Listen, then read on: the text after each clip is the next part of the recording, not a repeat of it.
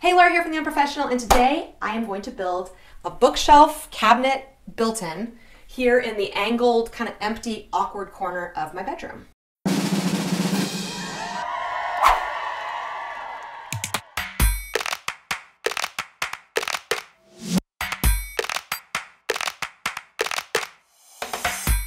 So my plan is to use this Ivar sliding cabinet as a base.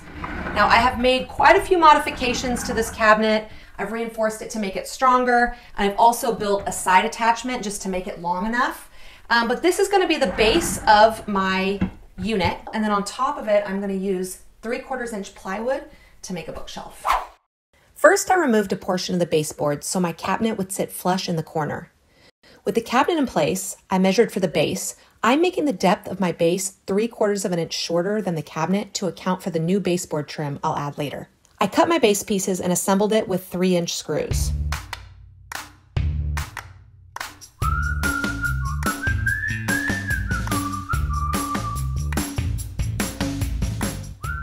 Nothing in my house is level or plumb, so each step required leveling and shims. With my 2x4 base level, I located the studs and attached the frame with long screws.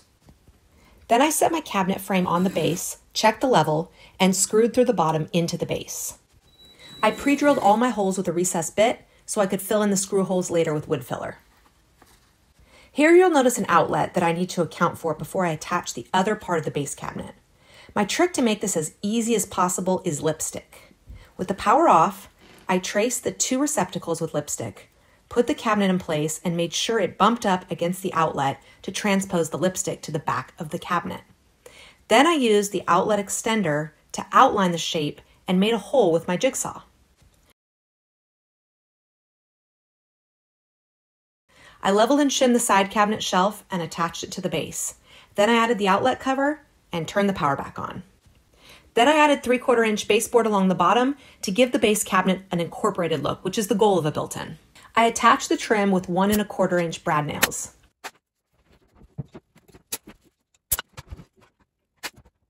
I'm ready to make the top surface to sit above my cabinet unit and below the shelving unit. I bought two um, pine project panels and I'm going to do a glue up. Now this project is really stretching my carpentry skills of which I have few, but I think I can do this. It doesn't seem that hard. So my plan is to put a ton of glue on this, to clamp it down, to put a few brad nails in the bottom because that's not gonna show, and then just wait. Eventually I'm gonna cut it down to size, but I'm going to do my glue up first.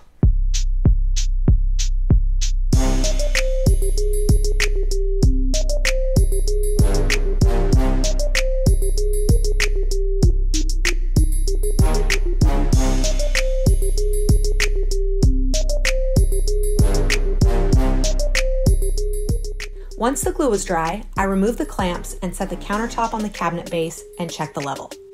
I mentioned before that nothing in my house is plumb, so to account for the not so 90 degree corner, I used a scribe tool to mark where to cut my countertop so that it would fit against the wall with less gapping. Using a circular saw, I followed the line, then did the same process for the back. Gave it a good sweep, and it was a perfect fit. Not pictured is wood filler along the seam and a whole lot of sanding. My little countertop is done and it turned out way better than I was expecting. I did more leveling and shimming where necessary, then attached the top through the underneath side to prevent screw holes from showing. Now for the hard part, the angled bookshelf. My idea was to start by constructing a box the height of the point where the wall and slope meet, and the other side extending to the ceiling, and a divider in the middle. Then add the angled piece and the angled shelving later. I ripped down 3 quarter inch cabinet grade plywood and cut all my pieces for the first part of my box.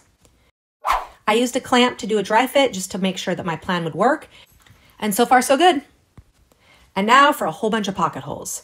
Pocket holes work great for shelving. They're a bit tedious, but for me, it's the best way to join 90 degree corners.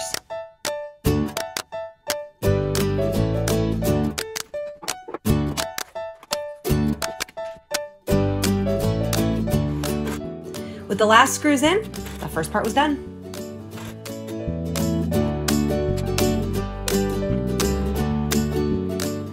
Now to tackle the angle. Using my ninth grade geometry skills, I determined my slope was close enough to 45 degrees to make it easy. I set my saw, you can see right in here. There it is to 45 degrees. Now I'm making sure here that my cuts go out this way and my other cut's gonna go out this way. So, um, and I'm measuring the length from the long end to this long end. My angled frame piece is all cut. It's pretty good. Maybe not perfect, but pretty good. Attaching an angled piece is a little bit more difficult than a straight piece. Typically, I probably would lay it down, but I have an idea that I think will be even easier, and I'm gonna let gravity kind of help me keep it in place. So rather than lay it down or try to do some weird clamp standing up, I am going to just make a little edge or a ridge right here at the end. There we go. Does not need to be perfect. And then on this side, just to make sure this is a little sturdier, I'm going to attach a clamp here as well. I'll actually clamp it down here.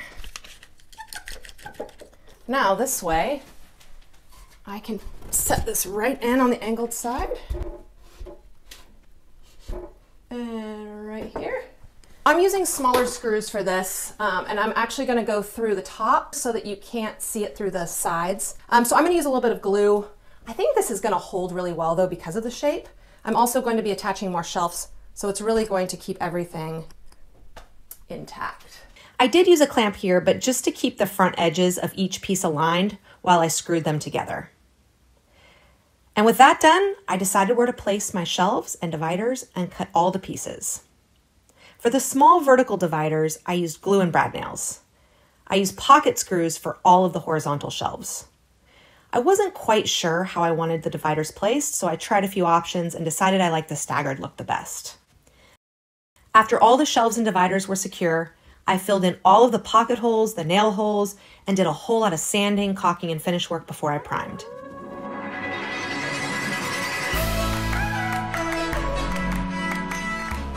Last, I connected the bookshelf section to the base with pocket holes that I pre-drilled on the outside vertical pieces, then attached it to the studs with a scrap piece of wood that I added just above the top shelf on the bookcase. Everything was super secure and tucked nicely into the angled corner. I ripped down 1x6 pine trim into different widths. Normally I would pre-attach the face pieces to reduce the seams, but the angle was tricky and required different widths for each piece. The outside vertical trim is one and a half inches. The angled trim is one and a quarter inch. The inside vertical is two inches so that I could scribe it to the wavy inner corner, and all of the shelves and dividers are one inch. It sounds really complicated, but I did each piece one at a time and figured out how wide it needed to be based on the width of the last piece. I used a level and a square to line up all of my trim pieces, then attached them with 18 gauge brad nails. All right, the build is done. All I have left is to fill all of these holes, do some sanding, do some painting, put some coats of polyurethane on, and I'll be done. I spent a lot of time prepping for paint. The last thing I wanted to do after all this work was a bad paint job.